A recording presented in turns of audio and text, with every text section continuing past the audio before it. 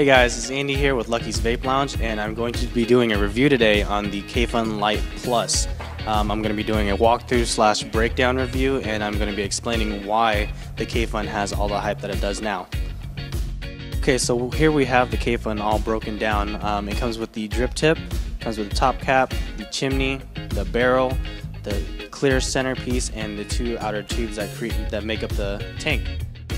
Okay, so here we have the base of the Kayfun with the negative post and the positive post in the center air hole.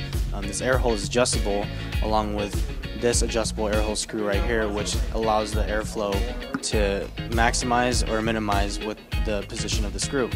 This is your bottom fill hole where you would fill the juice with and the reason why this Kayfun base is a lot more popular than the hangers are are because it has the rebuildable screws. Um, you're able to build your own custom coils however you feel, you wick it however you feel, and it allows vapor production and flavor production for the user.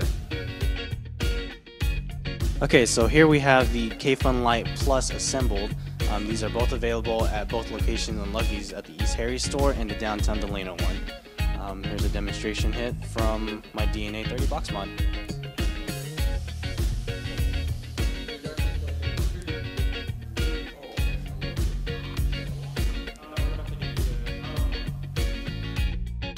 Okay guys, now that summarizes it. Okay, hold on, let me restart.